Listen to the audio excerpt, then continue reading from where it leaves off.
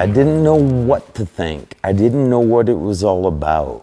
To be in the sidecar and be able to look up at the mountains and just see God's creation. I get to participate with Shane and, and look at his expressions.